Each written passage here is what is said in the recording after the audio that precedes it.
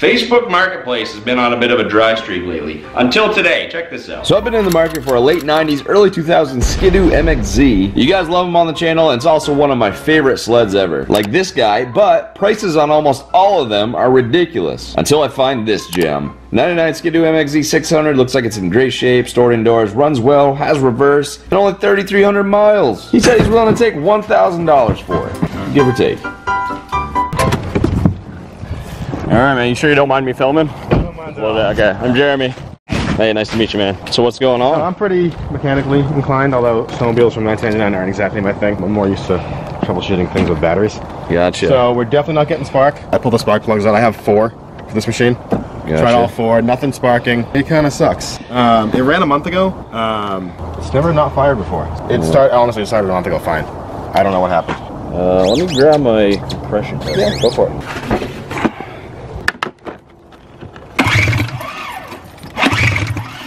I do have the certificate of origin for, for it with the VIN on it and stuff.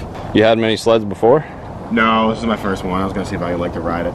I don't want to insult you in any way. No, I mean honestly, Uh, you take 400 for it? if you'd split it into five, I'll do it. I, w- I could do four for it. And that would, that would make me feel good going home. Yeah, I told you to get started and it's not, so I'll I'll, I'll do four. Okay. Um,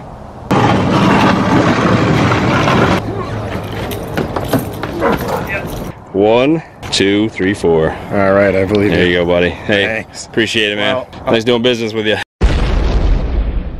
But we got our MXZ back. It's the day after picking this up. I stayed up way too late last night going to get this thing, but here it is in all its glory. We can show you now we have daylight how beautiful this thing is. Again, this is 1999 Skidoo MXZ 600. No cracks in the plastics or the windshield. Suspension's great, both front and rear. Flawless seat that's actually off of an O2 Heritage Edition, so it's kind of rare. Track has a few chip studs, but still in pretty decent condition. Tunnel looks great underneath. Snow flap is extra flappy. Again, super low miles for the year. The gas cap isn't even busted. Overall, this sled is in really, really good shape. To me, it's worth more than $400 in parts, absolutely. Uh, but we're gonna still try to get it going so we can have a nice running MXZ 600. You guys love the MXZs, I do too, one of my favorite sleds. I do have another 600 and I have a 700, which is buried over right there. Here's the other seat he gave me, which also does not have any rips on it. Here's the other track, which uh, is pretty used, but I mean, I, I, I don't know. If I wanted to slap it on there and just burn through it, I would. He had it registered riding in Maine last year, so I have high hopes. Today, we're diagnosing a no spark issue. Apparently, I wasn't there when he was troubleshooting it, and I honestly didn't spend too much time there. So, I see the plugs are not terrible. See how I'll do this. That clicked in nice. I don't think there's any issues with the uh, caps. They click in real nice, but there could be some problems with the wires, which we're going to test in a second. Just barely bought a multimeter. So the easiest way, which you guys probably know, is just to take one of your plugs out, put the cap on it, put it up against something metal, and see if you see that nice blue flame. Okay, so definitely no spark on that. Okay, so this one, spark plug is good. We just want to kind of give a visual of the whole sled. Check out all the wiring because one wire chewed up could cause this whole issue. That's definitely where mice like to hang out. They like to get into things like this, especially your air box. But when I was there, I was checking over, didn't see any mouse remnants, but still could have gotten in here and chewed up some wires earlier in its life and then uh, posed an issue today. I know there's some wires we can't really get to, which probably would be the ones. I'm thinking this is going to be like a stator issue or uh, potentially the uh, multi-purpose electronic module here. This thing has an aftermarket can on it. That's interesting. That is definitely not stock. Nice weld job somebody did right there. It doesn't have a brand name stamped on it, which kind of worries me, but hit. Yeah.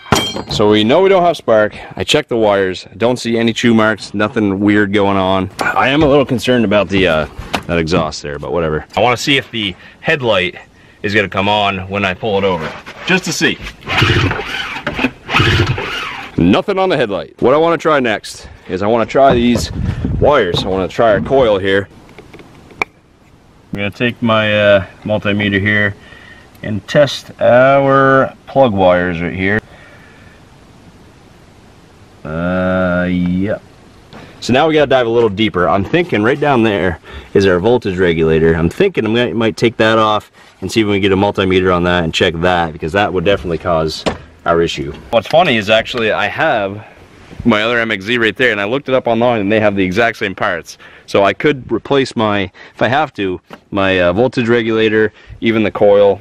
Um, I could replace a stator, all from that sled that's buried in the snow over there, which is the OG MXZ. You guys probably remember uh, that thing. I've had some great memories with it, but eventually I will get it running. But if we need to snag some parts and throw it on this, I'm down to do that. One thing we should check is the kill switch, because that could definitely be an issue. Looks like we got somebody messed with some things here.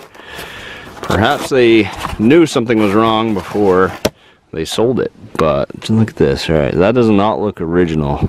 But I have seen before with sleds that the uh, kill switch actually goes. Ah, okay, so look at this. Once it focuses here, look at this. Okay, so you see these little slices? It's interesting how they all have little slices in them, isn't it? Well, that is because somebody was diving in here checking out some electrical stuff. And they sliced it so they can get their own multimeter on there to check for themselves. That's exactly what that is. Somebody knew. Somebody knew something here. That is really funny. That we that would have been awesome if I saw that there. And from what I see, that is definitely a stock voltage regulator. So I'll tell you what, we're gonna snag it out of our O2 MXZ 700 and slap it in. In the worst case, it doesn't work, we keep diagnosing. It's gonna see the light of day again. We just got a bunch of snow. I haven't had time to unbury all the sleds. For you old school subscribers here, you know this sled very well. I had some good memories with this thing. She's still torn apart. I know, it's a real sad sight. I just, we started working on it and then time got away from me and here it sits. It's probably gonna need a whole new motor at this point, but we can still fix it and we will someday, I promise you that. But what we're looking for is right down there. You see that? Should, yeah, there we go. So now we can take that one out of this, swap them out, and hopefully, just maybe, that'll solve our problem. And if it doesn't, we can at least rule that out. Out with the old, in with the new. So now let's see if we have spark. We're gonna test it again the old fashioned way. Just put the plug up against something metal like a bolt. Oh, dude. Oh, did you hear that? It wanted to fire. I saw a spark actually myself, but it wanted to fire on that other cylinder that we have in. Oh my God, I'm pumped now. I think it actually wanted to fire on that one. Put these plugs in here and see what happens. Everybody stand back. It's about to get real. Give a half choke. Yeah! and it wants the fire. I think it just, it's been sitting for a bit, so it's gonna take a little convincing, but we're on the right track. We'll shoot a little bit of liquid love here. We got some pre-mixed gasoline. Just a little. Slap these back on. Oh, I'm so pumped we actually have spark now.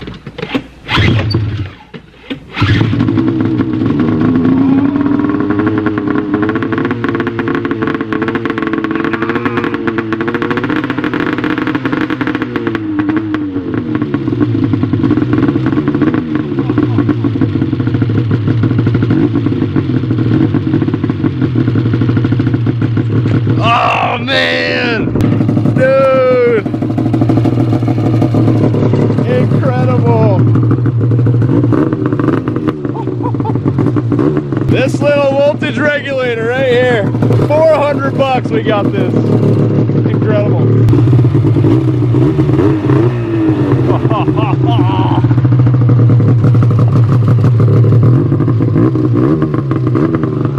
oh man!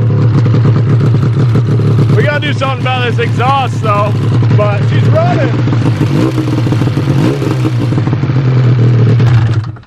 Oh my God, I cannot believe that. That is just incredible to me. One little piece of voltage regulator, swapped it from our old MXZ, the OG. So now this has a donor part in it, but it's running top notch right now. I can't believe it. Drop me down in the comments, scale of one to 10, how good of a deal this was. 10 being the best, of course.